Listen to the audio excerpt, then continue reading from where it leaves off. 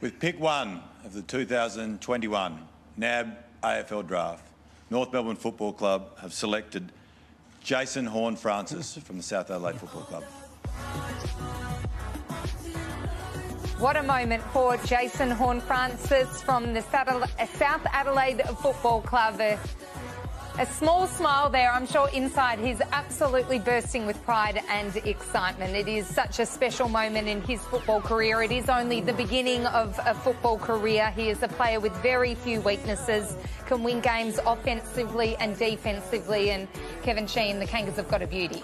Well, I call him a hard edge beauty, and that's the biggest compliment I can give. A competitive beast he is.